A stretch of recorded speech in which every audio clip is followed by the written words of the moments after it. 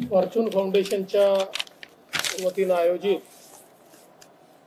Youth empowerment समिटमध्ये मंचावर उपस्थित आमदार कृष्णा खोपडेजी प्रवीण दटकेजी सुधाकरराव देशमुखजी त्याचप्रमाणे संदीपजी जाधव किशोर बागडे योगेशजी बन जयप्रकाशजी गुप्ता श्री प्यारेभाई दिलीपजी गौर रमेशजी गिरडे अनिरुद्ध पालकर भोलानाथजी सहारे गिरीजी मुंदडा सर्वच मंचावर उपस्थित सन्माननीय अतिथीगण. गेली आठ वर्ष सातत्याने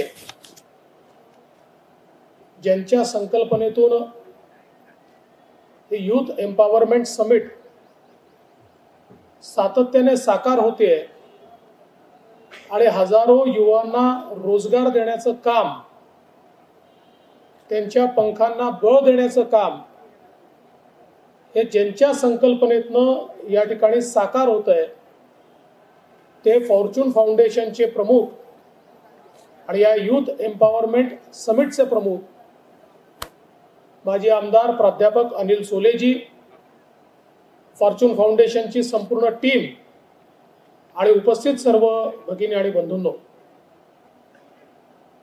प्रत्येक वर्षी यूथ एम्पॉवरमेंट समिटमध्ये येण्याची संधी मला मिळाली. आणि दरवर्षी आधीपेक्षा अधिक पूर्वीपेक्षा जास्त असा रिस्पॉन्स या यूथ एम्पॉवरमेंट समिटला मिळतोय. आणि सगळ्यात महत्वाचं एक मीटिंग पॉइंट म्हणून एम्प्लॉयर आणि एम्प्लॉई काम मागणारा आणि काम देणारा यांना एकत्रित आणून त्यांच्या माध्यमातनं रोजगाराचं सृजन करण्याचं काम ही यूथ एम्पॉवरमेंट समिट करते आणि म्हणून आपल्या सगळ्यांच्या वतीनं मी अनिलजींचं आणि त्यांच्या पूर्ण टीमचं मनापासून अभिनंदन करतो. आणि आपण सगळ्यांनी जोरदार टाळ्यांनी एकदा पुन्हा त्यांचं स्वागत करावं अभिनंदन करावं अशी विनंती करतो. खरं तर आपल्या देशामध्ये वर्षानुवर्ष सरकारी नोकरी याच्या पाठीशी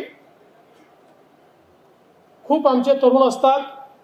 त्याची एक क्रेज आहे. पण जगाच्या पाठीवर हा अनुभव आहे की जसा जसा आर्थिक विकास होत जातो तसं तसं सरकारी नोकरीचं आकर्षण कमी होतं आणि खाजगी क्षेत्रामध्ये एम्प्लॉयमेंट वाढते. आणि हळूहळू खाजगी क्षेत्रातली नोकरी ही सरकारी नोकरीपेक्षाही अधिक प्रतिष्ठेची होत राहते. आज आपण मधल्या फेजमध्ये आहोत.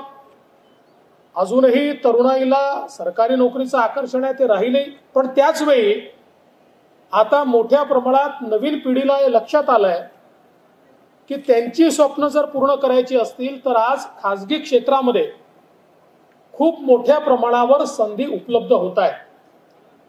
मगाशी अनिलजींनी ज्याचा उल्लेख केला स्टार्टअप स्टार्टअप इकोसिस्टीम एक अशी इकोसिस्टीम तयार झाली आहे की ज्यातनं वेगवेगळ्या क्षेत्रांमध्ये अगदी आमचे तरुण हे अशा प्रकारची संकल्पना आणि नवाचार आणतात की ज्यातनं त्या क्षेत्रामध्ये जगण्याकरता एक सोपा मार्ग तयार होतो. लोकांच्या जीवनामध्ये सुकरता तयार होते आणि त्या सुकरतेचं एक बिझनेस मॉडेल तयार होतं आणि त्यातनं मोठ्या प्रमाणात रोजगाराची निर्मिती होते आणि हजारो लोकांना रोजगार मिळतो. आज आपण बघतोय की अगदी शेतीच्या क्षेत्रामध्ये इतक्या मोठ्या प्रमाणात स्टार्टअप सुरू झाले आणि फार्म टू कन्झ्युमर थेट माल पोचवणारे जे स्टार्टअप्स आहेत त्यांनी इतक्या लोकांना रोजगार दिले आहेत.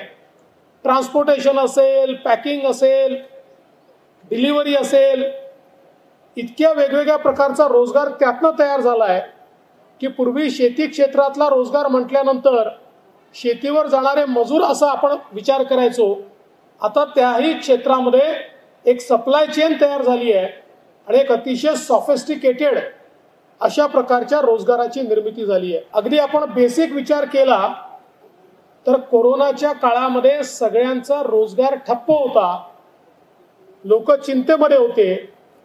पण या काळामध्ये सगळ्यात जास्त बिझनेस जर कोणी केला असेल तर तो फूड सप्लाय चेननी केला. आणि त्या माध्यमातनं आमची डिलिव्हरी करणारे जे मुलं मुली होते यांची डिमांड ही कोरोनाच्या काळामध्ये चार पटीने वाढली. आणि इतक्या मोठ्या प्रमाणात या सगळ्या रेस्टॉरंट्स असतील किंवा फूड चेन्स असतील यांना नफा मिळाला की एक लेवल वरती आज त्यांनी त्यांची रोजगार निर्मिती नेऊन ठेवली. आणि म्हणून नवीन अर्थव्यवस्थेमध्ये हे जे वेगवेगळे क्षेत्र आहेत त्यातल्या बेसिक क्षेत्रापासून तर टेक्नॉलॉजीच्या क्षेत्रापर्यंत प्रत्येक क्षेत्रामध्ये नवीन रोजगाराची निर्मिती होते. आज आपण अनिलजीने युनिकॉर्न सांगितले. हे युनिकॉर्न काय आहेत? हे असे सक्सेसफुल स्टार्टअप्स आहेत की ज्यांनी रातोरात देशातल्या अतिशय सक्सेसफुल बिझनेसमनची उंची गाठली. किंबहुना त्यांच्या एवढा बिझनेस केला आहे रातोरात ते लोक देशातल्या यशस्वी लोकांच्या रांगेत उभे राहिले आहेत. कारण त्यांनी टेक्नॉलॉजीचा उपयोग करून नवाचाराचा उपयोग करून अशा प्रकारची एक उद्योगाची चेन उभी केली की ज्यातनं हजारो लोकांना रोजगार मिळाला आणि त्यातनं मोठ्या प्रमाणात पैसा देखील उभा आहे आणि म्हणून मला असं वाटतं की अलीकडच्या काळामध्ये आपल्याला रोजगाराच्या संदर्भातली आपली जी विचारसरणी आपली जी सोच आहे ती आपल्याला बदलावी लागेल. आणि ती बदलली तर संधीच संधी आहे. अनेक वेळा अनेक युवक आमच्याकडे येतात. आणि आता तर जे लोकप्रतिनिधी या ठिकाणी आहेत त्या लोकप्रतिनिधींना अनुभव असेल की येणारे पन्नास टक्के लोक आम्हाला मेट्रोत नोकरी लावून द्या म्हणून आपल्याकडे येत असतात. आता ज्यावेळेस आम्ही मेट्रोचं काम सुरू केलं काही लोक टीका करायचे की कशाला नागपूरला मेट्रो पाहिजे. त्यावेळेस मी सांगितलं की मेट्रोनी दळणवळण तर वाढेलच पण हे रोजगाराचं एक मोठं केंद्र तयार होईल. आज हजारो लोकांना मेट्रोच्या माध्यमातून रोजगार मिळालाय. आज आपण बघितलं नितीनजींनी ट्वेंटी फोर बाय सेव्हन पाण्याची योजना आणली. आज त्या पाण्याच्या योजनेने हजारो लोकांना रोजगार मिळालाय जो कधी महानगरपालिका देऊ शकली नसती. आणि म्हणून प्रायव्हेट सेक्टर जे आहे याच्यामध्ये जशी जशी गुंतवणूक वाढते आहे तशा तशा तिथल्या संधी देखील वाढत आहेत पण त्या संधी आपल्याला समजून घ्याव्या लागतील. आणि त्याचसोबत म्हणजे मी तर नेहमी असं म्हणतो की तुम्ही एम आय डी सीत जाऊन बघा.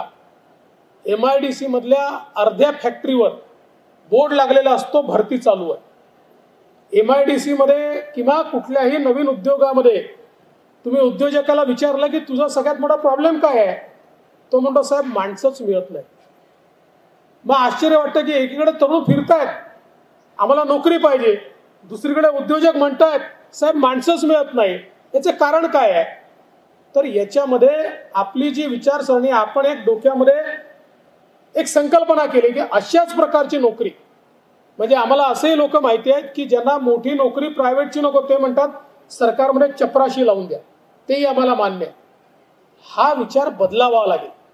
आणि कुठेतरी आज ज्या ज्या सेक्टरमध्ये ज्या ज्या संधी आहेत त्या संधींना अनुकूल आपण कसे होऊ शकू? आता केंद्र सरकारने नवीन शिक्षा नीती तयार केली आणि मोदीजींच्या नवी शिक्षा नीतीने सगळ्यात मोठं परिवर्तन काय केलं आहे? तर आतापर्यंत आपल्या शिक्षणाचा आणि नोकरीचा संबंध नव्हता.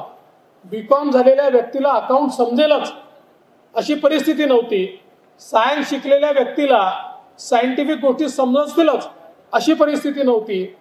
अनेक वेळा अनेक इंजिनियर्स असे आहेत की ज्यांना पुलाच्या डिझाईनमध्ये प्रेशर कसं कॅल्क्युलेट करायचं हे समजत नव्हतं. आता नवीन शिक्षा नीतीने थेट जे काम आपल्याला करायचं आहे त्याच्याशी शिक्षणाला जोडलाय अप्लाइड पद्धतीनं हे शिक्षण आपल्याला आता याच्यापुढे मिळणार आहे. त्यामुळे नवीन शिक्षा नीतीने तयार होणारे आमचे जे काही विद्यार्थी असतील ते डिप्लोमा करो डिग्री करो की आय टी आय करो जे शिक्षण ते घेतील त्या शिक्षणाचं प्रॅक्टिकल नॉलेज त्यांना असेल त्यामुळे ज्या दिवशी ते शिक्षणातनं बाहेर पडतील त्या दिवशी ते एम्प्लॉयबल असतील त्या दिवशी त्यांना नोकरी किंवा त्यांना त्या ठिकाणी रोजगार मिळू शकेल अशा प्रकारची व्यवस्था ही आज उभी झाली आहे. यासोबत माननीय मोदीजींनी वेगवेगळ्या प्रकारे स्वयंरोजगाराच्या योजना सुरू केल्या आहेत. आता स्वयंरोजगार याकरता महत्त्वाचा आहे की ज्यावेळी ही स्टार्टअपची इकोसिस्टीम तयार होते त्यावेळी त्या इकोसिस्टीमला एक मोठा वेंडर बेस लागतो. एखादी मोठी अँकर इंडस्ट्री आली की त्याला एक वेंडर बेस लागतो.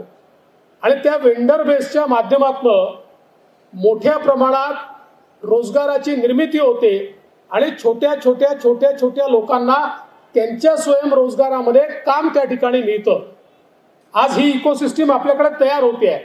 आणि म्हणून मला असं वाटतं की थोडं खुल्या मनानं आणि खुल्या डोळ्यानं आणि ज्याला आपण हिंदीमध्ये भेडचाल म्हणतात म्हणजे सगळे जिकडे चालले तिकडेच आम्हाला चालायचं असा विचार न करता जे मार्केटला हवं आहे ते करण्याची आमची तयारी आहे. असा विचार करून जर आपण मैदानात उतरलो तर रोजगाराचीही कमतरता नाही आहे आणि कुठल्याही प्रकारे त्या ठिकाणी निराश होण्याचे कारण नाही आहे आता मी यायच्या आधी अ, प्यारेभाईंचं आपल्यासमोर भाषण झालं आणि आपल्या नागपूरमध्ये एक मोठं उदाहरण प्यारेभाईंनी आपल्यासमोर दाखवून दिलं की ट्रान्सपोर्टेशनच्या सेक्टरमध्ये अतिशय छोट्या स्तरावरनं सुरू करून आज अखिल भारतीय स्तरावर ट्रान्सपोर्टर म्हणून त्यांनी जे काम करून दाखवलं खरं म्हणजे त्यांनी जर हा विचार केला असता की कुठेतरी छोटंसं काम मी करत राहील तर कदाचित ते एवढे मोठे होऊ शकले नसते. पण जवळ काही नसताना हिंमत दाखवून जर एखाद्या व्यक्तीने काम करायचं ठरवलं तर तो काय करू शकतो? हे प्यारेभाईंसारख्या अनेक लोकांच्या उदाहरणातनं आपण बघितलंय. म्हणून मला असं वाटतं की आज या फॉर्च्यून फाउंडेशनच्या यूथ एम्पॉवरमेंट समिटमध्ये हे जे काही कनेक्टिंग द डॉट्स आहेत ते काम अनिलजी सोले या ठिकाणी करत असतात. एम्प्लॉयबिलिटी एम्प्लॉयमेंट एम्प्लॉयर या सगळ्यांना एकत्र आणत असतात. नवीन आयडियाज यातनं तयार होत असतात. आणि सगळ्यात महत्त्वाचं याच ठिकाणी इंटरव्ह्यू होऊन तिथेच ऑफर लेटर ह हे आपल्याला त्या ठिकाणी मिळतं.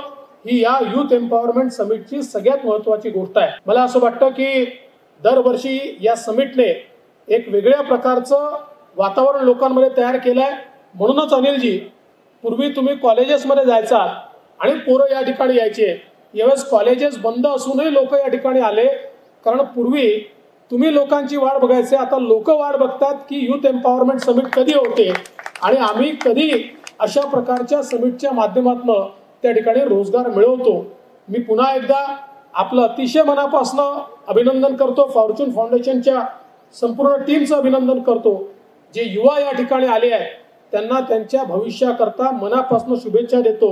आपली स्वप्न पूर्ण व्हावीत आणि एक बलशाली भारत तयार करण्याचं जे स्वप्न आपले पंतप्रधान नरेंद्र मोदीजी पाहत आहेत आज ज्या प्रकारे आपले नेते माननीय नितीनजी गडकरी यांनी या नागपूर जिल्ह्यामध्ये नागपूर शहरामध्ये या विदर्भामध्ये वेगवेगळ्या अपॉर्च्युनिटीज तयार केलेल्या आहेत.